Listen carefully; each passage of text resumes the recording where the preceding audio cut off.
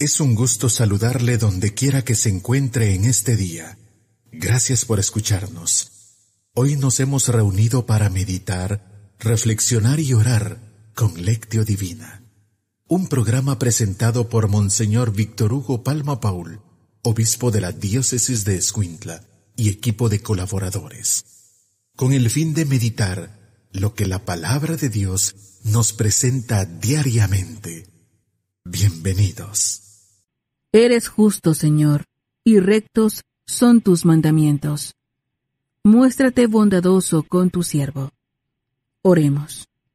Señor Dios, de quien nos viene la redención, y a quien debemos la filiación adoptiva, protege con bondad a los hijos que tanto amas, para que todos los que creemos en Cristo obtengamos la verdadera libertad y la herencia eterna por nuestro Señor Jesucristo, tu Hijo, que vive y reina contigo en la unidad del Espíritu Santo, y es Dios, por los siglos de los siglos.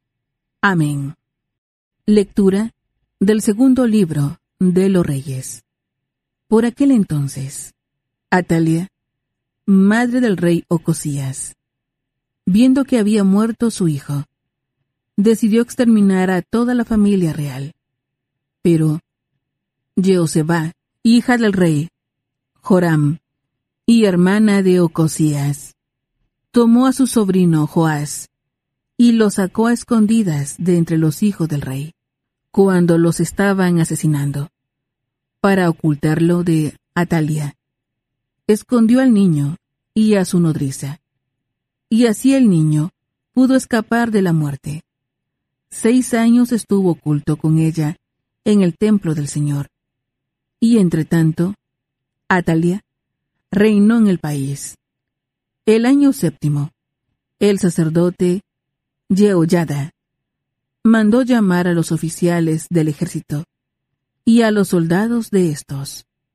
Los introdujo en el templo del Señor. Les mostró al hijo del rey e hizo con ellos un pacto con juramento de cuidar al hijo del rey. Los oficiales cumplieron el pacto que habían hecho con el sacerdote Yehoyada. Cada cual se puso al frente de sus hombres, que entraban de guardia el sábado o terminaban su guardia el sábado, y se presentaron ante el sacerdote Yehoyada. Este les entregó las lanzas y los escudos del rey David, que estaban en el templo del Señor. Cuando los soldados de la guardia con las armas en la mano, se pusieron en fila desde el lado sur hasta el lado norte del templo. Rodeando el altar, Yehoyada sacó al hijo del rey. Le puso la diadema y las insignias reales y lo ungió. Entonces todos aplaudieron y gritaron, ¡Viva el rey! Cuando Atalia escuchó el clamor popular, fue al templo del Señor, donde estaba reunida la gente. Entonces vio al rey, que estaba de pie sobre el estrado, según la costumbre, a los oficiales del ejército y a los heraldos en torno al rey, y a todo el pueblo que daba muestras de gran alegría, mientras sonaban las trompetas. Entonces, Atalia rasgó sus vestiduras y gritó, Traición. Traición. El sacerdote Yehoyada dio esta orden a los oficiales. Sáquenla del templo y maten al que la siga. El sacerdote les había dicho, no podemos matarla en el templo del Señor. Así pues, los guardias la llevaron hasta el palacio real y le dieron muerte en la puerta de los caballos. Entonces, el sacerdote Yehoyada renovó la alianza entre el Señor, el rey y el pueblo, por la cual ellos serían el pueblo del Señor. Todo el pueblo penetró en el templo de Baal y lo destrozaron. Destruyeron completamente el altar y sus estatuas. Y a Matán, sacerdote de Baal, le dieron muerte delante del altar. El sacerdote Yehoyada puso centinelas en el templo del Señor. Todo el pueblo se llenó de alegría y la ciudad quedó tranquila. Atalia había sido muerta en el palacio real. Palabra de Dios. Te alabamos, Señor. Salmo responsorial. Salmo 131. Dios le dará el trono de su padre David. Dios le dará el trono de su padre David. Dios prometió a David, y el Señor no revoca sus promesas. Pondré sobre tu trono a uno de tu propia descendencia. Dios le dará el trono de su padre David. Si tus hijos son fieles a mi alianza y cumplen los mandatos que yo enseñe, también ocuparán sus hijos tu trono para siempre. Dios le dará el trono de su padre David. Esto es así, porque el Señor ha elegido a Sión como morada. Aquí está mi reposo para siempre, porque así me agradó. Será mi casa. Dios le dará el trono de su padre David. Aquí haré renacer el poder de David, y encenderé una lámpara a mi ungido. Pondré sobre su frente mi diadema. Ignominia daré a sus enemigos. Dios le dará el trono de su padre David. Aleluya, aleluya. Dichosos los pobres de espíritu, porque de ellos es el reino de los cielos. Aleluya. Lectura del Santo Evangelio según San Mateo. Gloria a ti, Señor.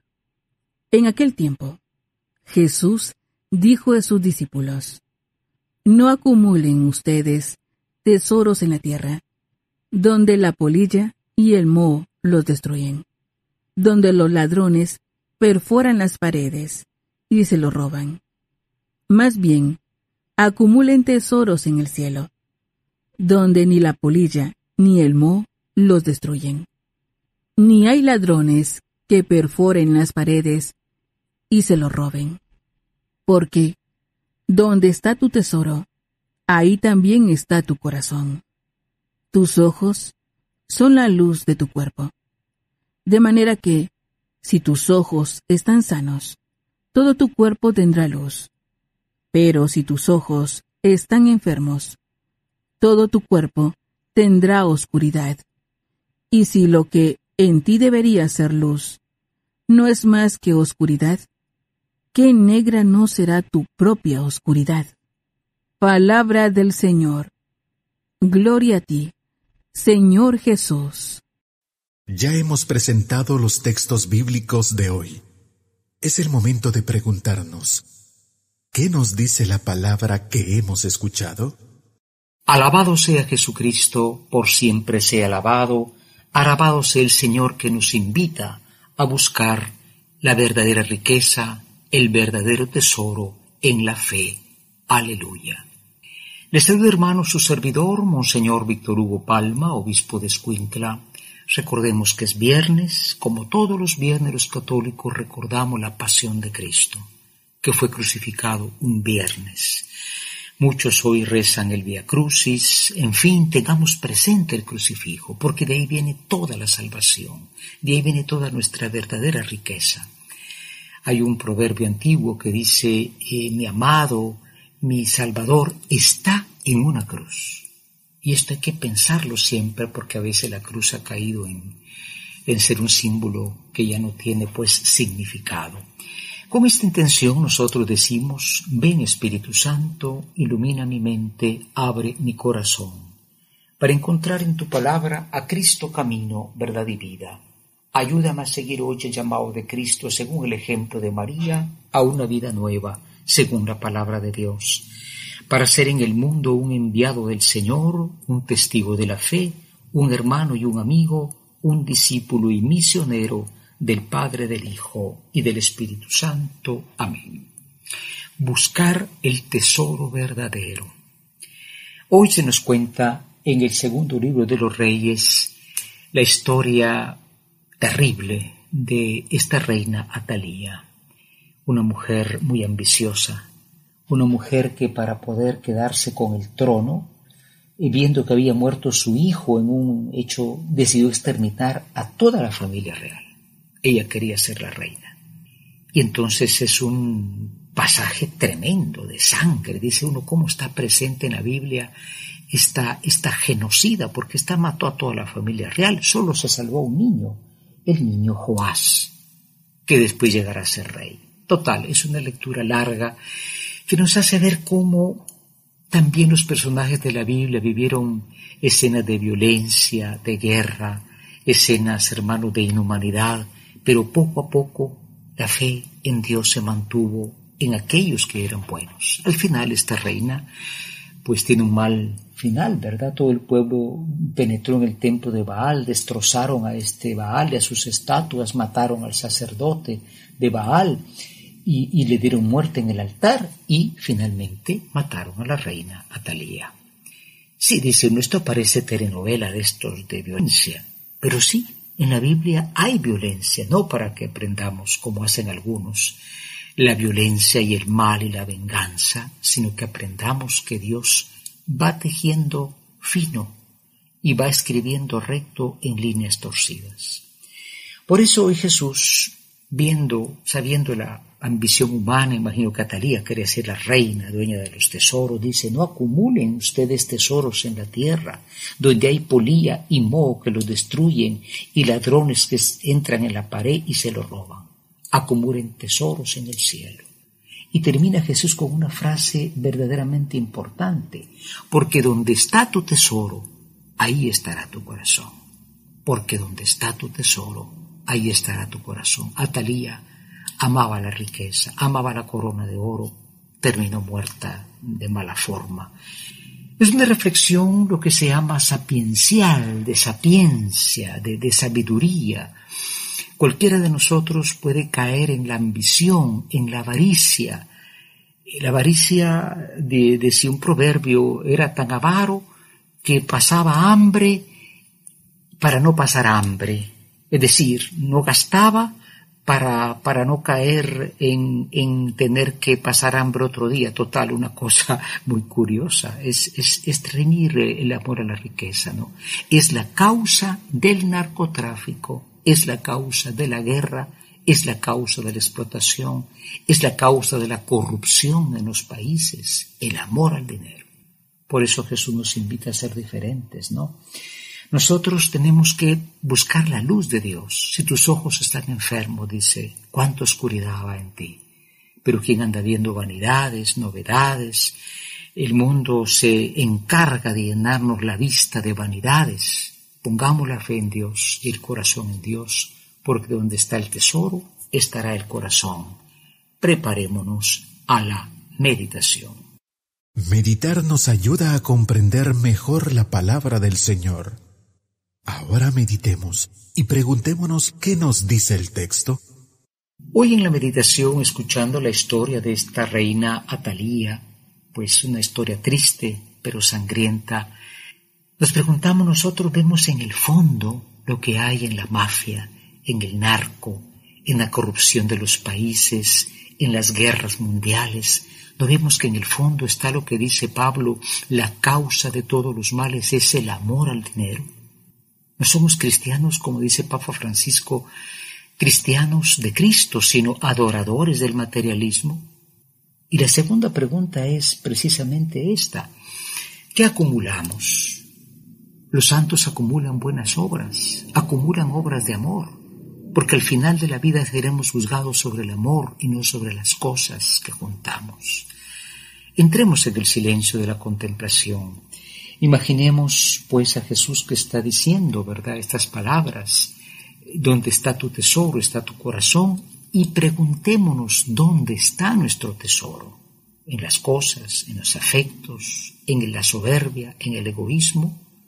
Entremos en ese silencio, hermanos, y una vez más decimos, Dios le dará el trono de David, su padre. Es tiempo de que juntos nos pongamos en oración. Preguntémonos en nuestro interior, ¿qué me hace decir el Señor con el texto que he escuchado?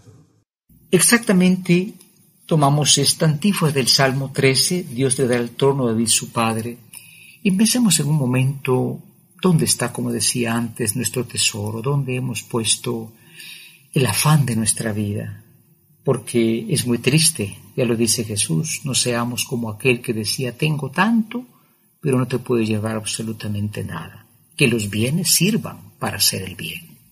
Entrando en la contemplación decimos, Dios le dará el trono de David su padre.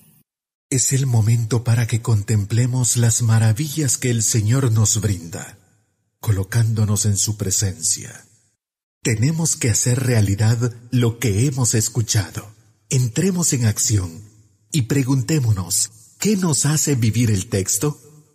Hoy finalmente en la acción, propongámonos en primer lugar ver claro que detrás de tanta violencia, tanto robo, tanto narcotráfico, tanta guerra, hermanos, tanta corrupción administrativa, está el amor al dinero, el apego. Atalía quería ser la reina y quedarse con la corona y terminó muerta ahí en el palacio. No, pues pensemos el drama del mundo, enseguecido, como dice el Papa Francisco, por idolatría al dinero. Y en segundo lugar, queridos hermanos, pues nosotros también, examinando dónde está nuestro tesoro, recordemos, recordemos que el tesoro, la perla preciosa, es Jesucristo. Pablo dice, todo lo que yo tenía lo he dejado por Cristo y estoy dispuesto a dejarlo todo más aún con tal de conocer a Jesucristo, mi Señor, y el poder de su resurrección. Que esto sea posible por intercesión de María, María que está junto a la cruz del mundo, el mundo en guerra, el mundo en pobreza, el mundo pasando hambre. María ora por nosotros porque sabe que está al pie de la cruz de su Hijo y donde quiera que alguien sufre. María, Madre de Misericordia, ruega por nosotros. Amén. La lectio divina es la lectura de la Sagrada Escritura de un modo espiritual, lo que nos permite conocer a Jesús de un modo cada vez más personal escuchándolo, viviendo con Él, estando con Él. Gracias por escuchar la lectio divina de hoy con Monseñor Víctor Hugo Palma Paul, obispo de la diócesis de Escuintla y equipo de colaboradores. Hasta mañana.